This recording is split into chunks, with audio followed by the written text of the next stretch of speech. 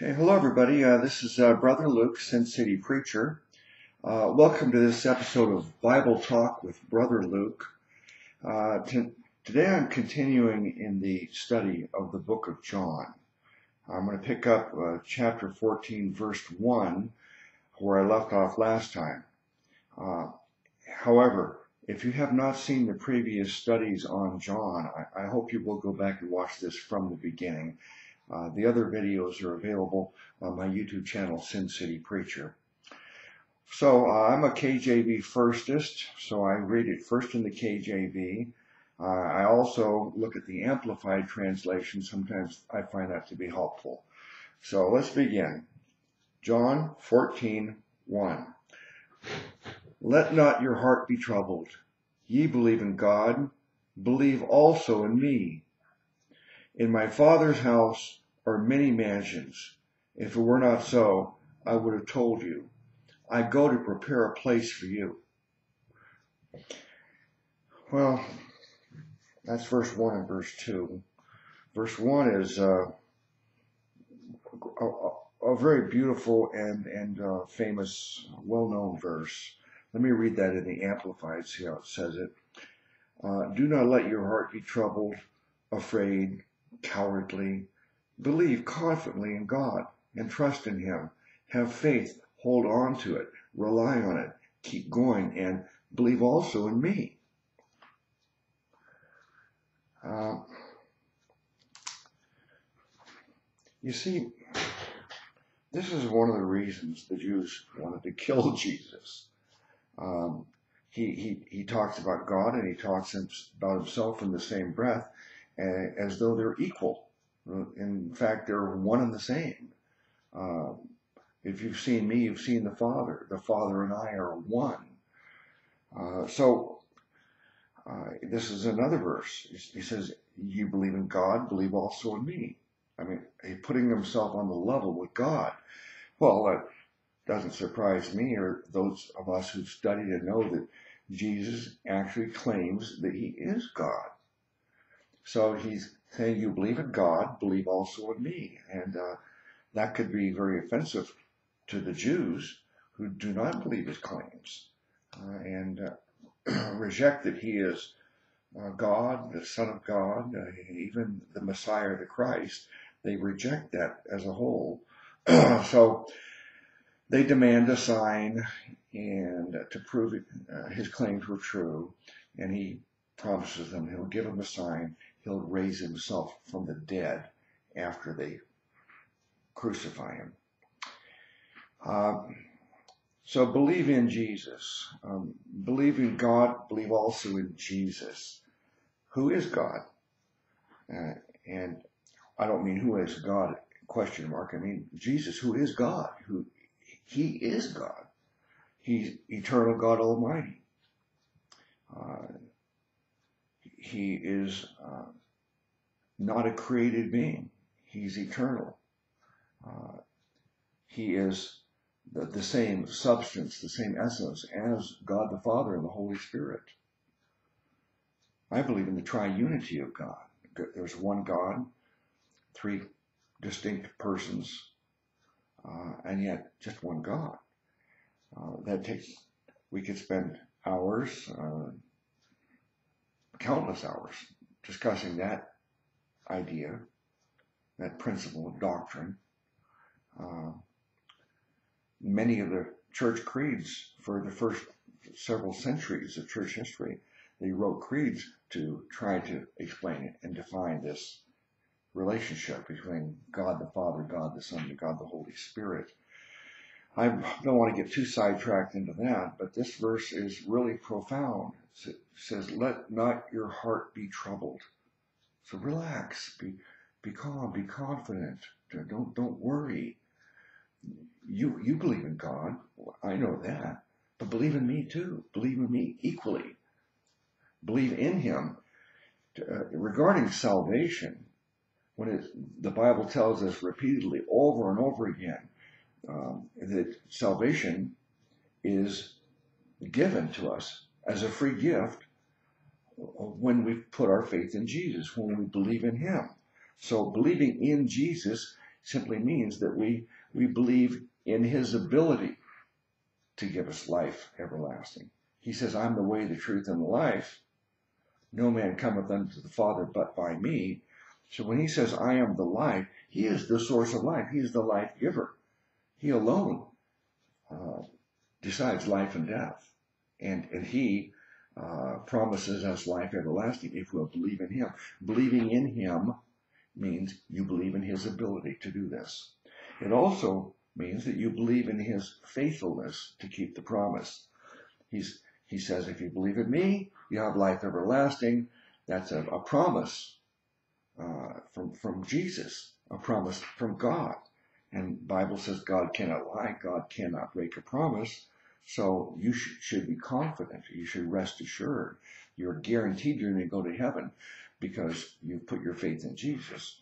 So when the Bible tells us to believe in Jesus, and Jesus says here, believe in me, it means believe in my ability to save you.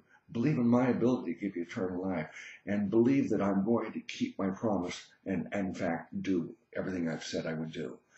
Now, he says here, in my father's house are many mansions. Uh, if it were not so, I would have told you. Uh, I go to prepare a place for you.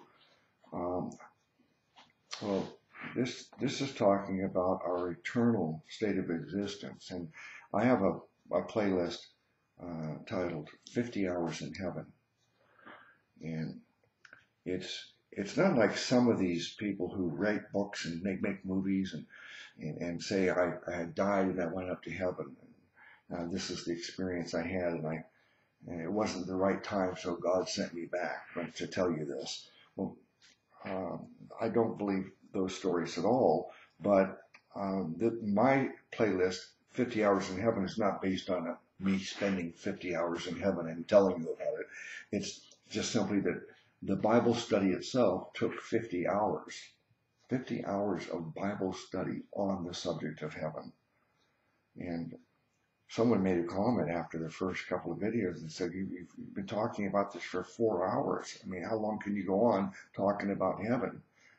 Um, so I, I, hope you will watch that uh, study, 50 Hours in Heaven. And but this is, of course, just a, a small part of that whole. Uh, the idea of studying about heaven is that Jesus says, "In my Father's house are many mansions. If it were not so, I would have told you. I go to prepare a place for you."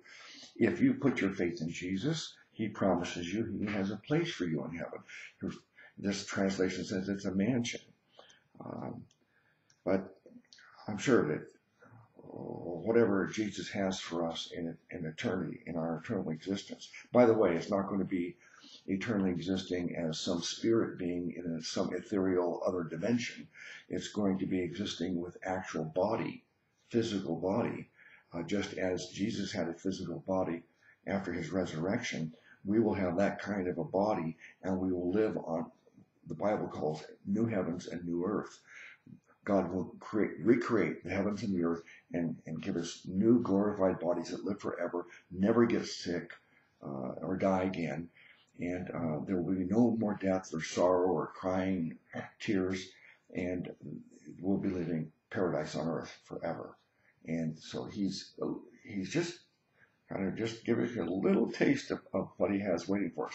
Um, he's preparing a mansion for us. Now, let me see how that uh, says that. Uh, in, no, let's go to verse three in the in the KJV. And if I go and prepare a place for you, I will come again and receive you unto myself, that where I am, there ye may be also. If I go and prepare a place for you, well, he's going to go away. He's talked about this in previous chapters in John about how he's going someplace and they cannot go with him.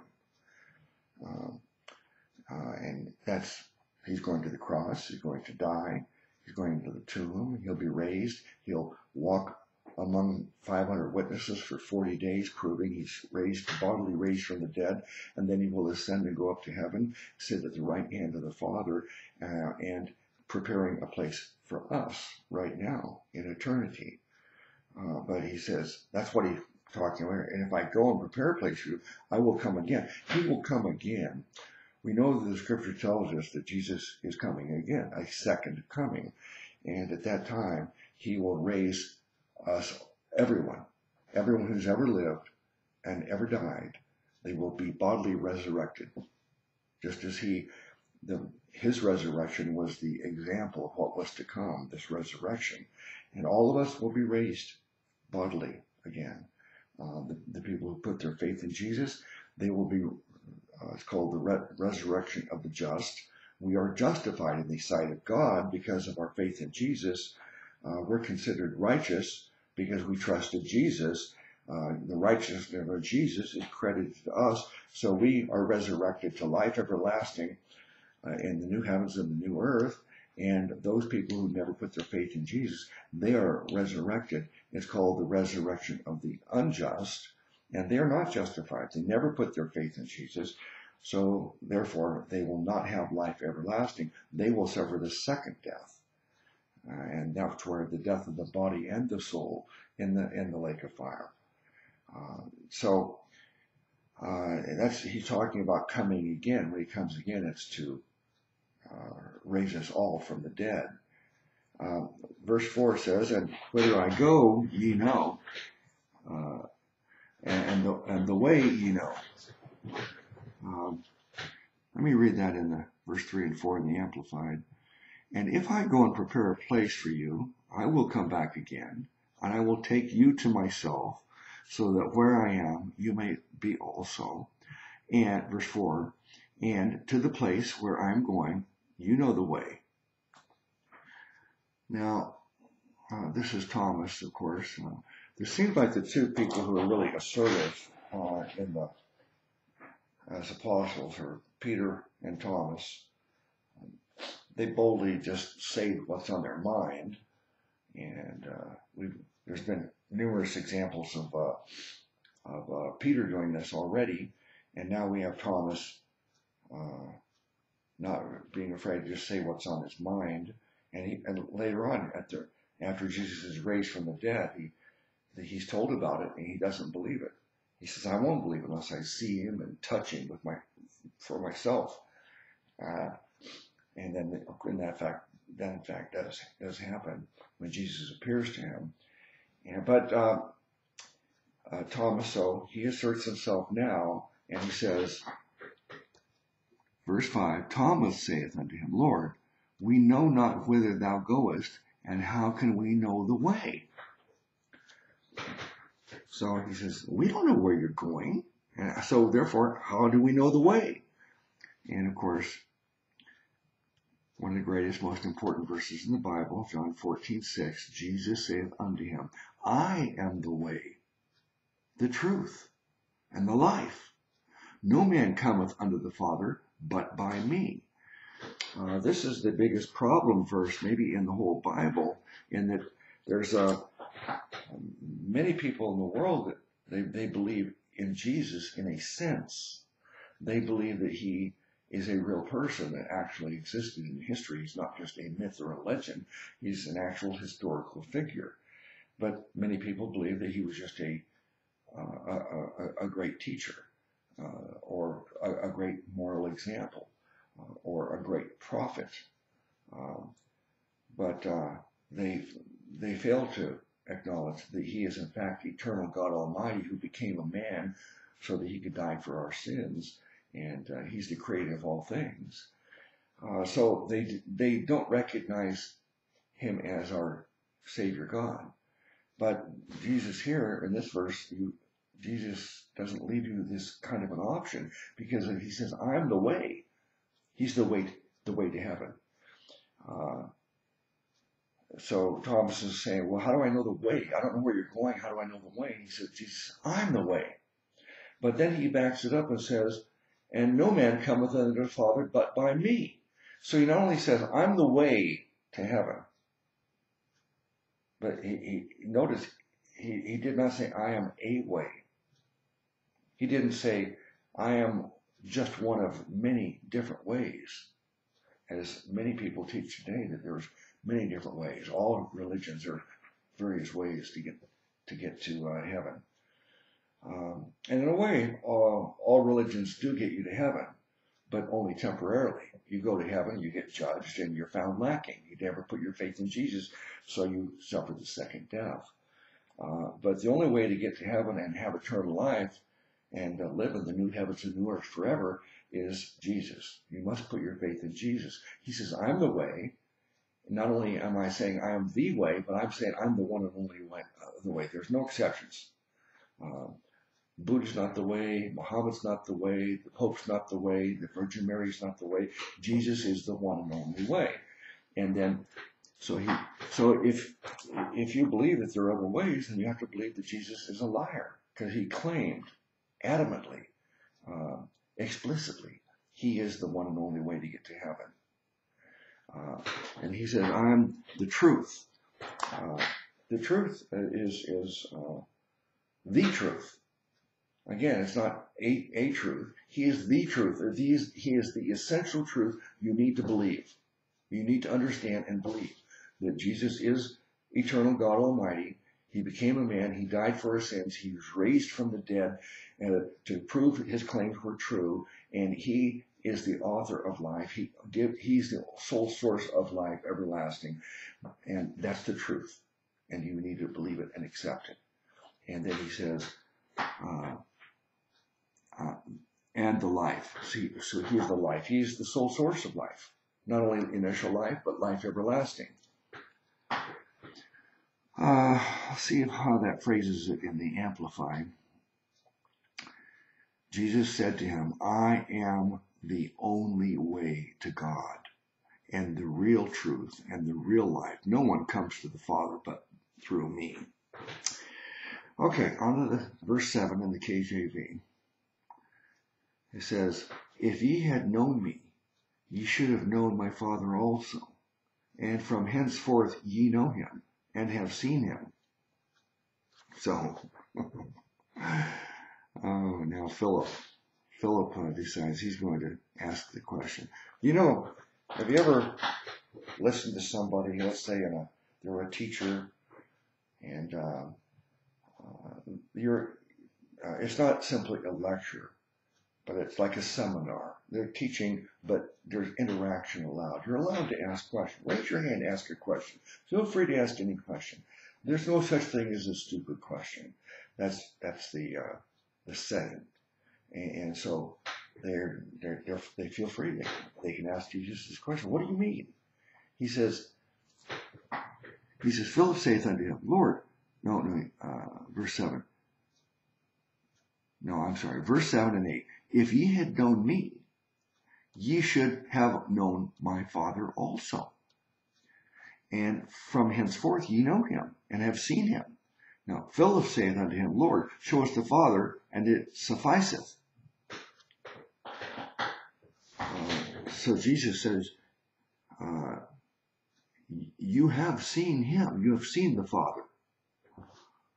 Well, they don't recall ever seeing the Father. It seems like if they've ever seen God, the Father, God Almighty, they certainly would have noticed it. They would have remembered it. And he says, You've seen him. And Philip says, Well, show us the Father, and that will be sufficient. Verse 9 Jesus saith unto him, Have I been so long time with you, and yet hast thou not known me, Philip? I mean, it's, it's, it's, a kind of a disappointment and, and a bewilderment. I, I really, um, you've been with me for all these years. You've been my disciple, following me, listening to me, learning from me, and you still don't know who I am. Jesus saith unto him, Have I been so long time with you, and yet hast thou not known me, Philip? He that hath seen me hath seen the Father. And how sayest thou then, Show us the Father? If you've seen Jesus, you've seen the Father. Now the modalists, uh, who believe that Jesus is eternal God Almighty, as I do, uh, they but they do not have a, a, a, distinction between Father, Son, and Holy Ghost. They believe Jesus is the Father, Jesus is the Holy Ghost, and uh, he just simply changed forms. He operates in three different modes. And uh, that uh, there's so the idea is this is the Jesus only viewpoint uh, that uh, Jesus is there's one God and it's Jesus, but sometimes he kind of wears a mask as the Father. Sometimes he wears a mask as the Holy Spirit. But as a Trinitarian, I believe in the triunity of God, that Jesus, the Father, and the Holy Spirit all exist as distinct uh, persons at the same time. And uh, one proof of that, of course, is the baptism of Jesus. Uh, the baptism, we have Jesus there bodily being baptized. We have the Father's voice coming down and saying, uh, This is my beloved Son in whom I am well pleased. And we have uh, the, the Holy Spirit ascending in the manner of a dove. All three distinct persons of the triune God simultaneously existing, exemplifying themselves at the same moment in time, at the same place. So that, that to me debunks modalism. Uh, but uh, this verse here, the modalists, uh, they, they, would use this verse to support their, their viewpoint. That uh, he says, if you've uh, he that hath seen me has seen the Father. So he, they would say, see Jesus would say, if you've seen me, you've seen the Father. So uh, therefore, I am the Father. Uh, of course, it begs the question: Well, why is Jesus praying to the Father? Why is he having these conversations in the garden and on the cross? My God, my God, why have thou forsaken me? Is he, is he like schizophrenic, like these people walking down the street talking to themselves? Has he lost his mind and is, is, is uh, doesn't even have mental health? why would he talk to the Father if he is the Father? Uh, these are the arguments against modalism. Uh, but this verse, of course, is just another way that Jesus is claiming that he is eternal God Almighty. Um, now, verse 10 Believest thou not that I am in the Father, and the Father in me? Uh, so, the, the, these ancient creeds were written by the, the second, third, fourth century theologians to try to explain all this. And uh, I did a, a playlist on uh, you know, the various creeds. So you can watch the, that. I, I hope you would. It's very interesting. Uh, the, the good things and the, the bad things in these creeds. Uh, but it's uh, theologians attempt to try to explain it and define this better. And, and uh, uh, so the idea of being in the Father and the Father in Him, it's this, that there's this, they are the same substance, they are the same essence. I think somebody explained it you know, recently. I saw a video where they said if you have a, a bottled water and this water represents Jesus, uh, and you put the bottle of water into a larger bucket of water, uh, then you can say that uh, the, the water is in, in, in Jesus and Jesus is in the water, the Father. So that's a way of illustrating this. Um, um, verse 10 Believest thou not that I am in the Father, and the Father in me? The words that I speak unto you, I speak not of myself, but the Father that dwelleth in me. He doeth the works. So, of course, we also have verses that say that the works that Jesus does, the miraculous things, were done by the Holy Spirit. And to believe that, that Jesus' miracles were done not by the Holy Spirit of God, but by the devil, uh, as the uh, Pharisees and the, the, the Jewish uh, religious leaders claimed that they, uh, we, we don't believe that the miracles you're performing are through God. We believe it's the devil, it's Beelzebub. And that's when Jesus says that you can say what you want about me, but if you if you are uh, if you say that these works are from the devil, that's blasphemy against the Holy Spirit because you're denying that the Holy Spirit, the Spirit of God, is the one doing these works. Um, so uh, let me see, verse verse 11. Believe me that I am in the Father and the Father in me, or else believe me for the very work's sake. Verse 12. Verily, verily, I say unto you, he that believeth on me, the works that I do shall he do also.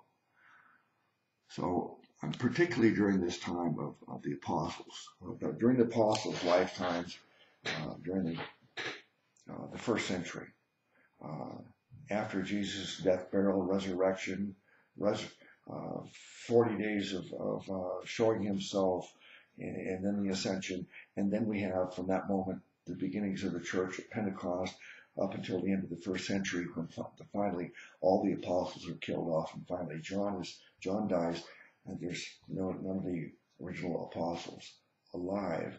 Uh, during that time frame the early church there, they they do miraculous things. Many miraculous things are done, and, and just as Jesus promised here. Um, he says, um,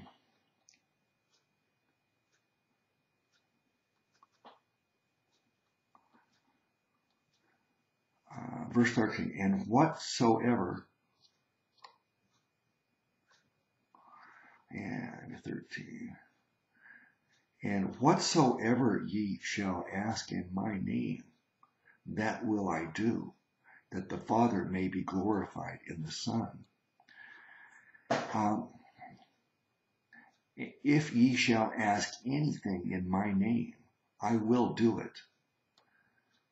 If you love me, keep my commandments. Now, verse 13 and 14, Jesus is saying that if you ask in him anything of him in his name, ask God of anything in the name of Jesus. Pray in the name of Jesus. Uh, give me a, a, a brand new uh, Cadillac. Put on my in my driveway right now. I mean that that's some, some people could interpret it that way and say that that's if you have enough faith that anything you ask will be manifest because this is what Jesus said. And I don't claim to understand this verse. Um, let me see how it says. It states 13 and 14 in the Amplified. And I will do whatever you ask in my name as my representative. This I will do so that the Father may be glorified and celebrated in the Son. If ye ask me anything in my name as my representative, uh, uh, I will do it. So, I've asked a lot of things in the name of Jesus. I, I pray every day. And uh, I, my prayers are always answered. Uh, but it's not always yes. Sometimes the answer is no, I don't get what I've asked for. Sometimes it's yes, I'm blessed. My prayers answer yes. And sometimes apparently the answer is no. But sometimes the answer is wait, not yet. And later on, the prayer is answered. But I do struggle with this verse, and if someone is able to explain these verses to me, I, would I really appreciate uh, uh, other insights on this, because I know that there are people that believe that uh, you you should expect that every prayer for healing, for wealth, for any, anything, uh, prayers of uh, supplication. Um, a prayer of supplication is, I, I, I need, there's a need I need supplied to me. There's something I need. I pray all day. Please and thank you. Please, Jesus, help me with this. Thank you, Jesus, for that. And also, if it does, if if I don't get, it, I'm still saying thank you all day long for everything else I have, all the blessings I have. So it's it's continuous talking to Jesus, please and thank you all day long, and yet I, I think that sometimes uh, Jesus may be saying, no, I don't seem to get everything I've asked for. Uh, so I wish I could answer, uh, you know, had some great insight on this verse. Uh, if you have some insights on it, uh, I, would like to hear it. Um, verse 16. Now, actually, that's half midpoint through this chapter. 31 verses, I'll pick up with verse 16 next time. Um, let me take a couple of minutes uh, now to uh, uh, make sure you understand the gospel. Gospel is a Greek word. It literally translates as, as good news. I think it's an understatement. I think it should be translated as great news or even the greatest news ever.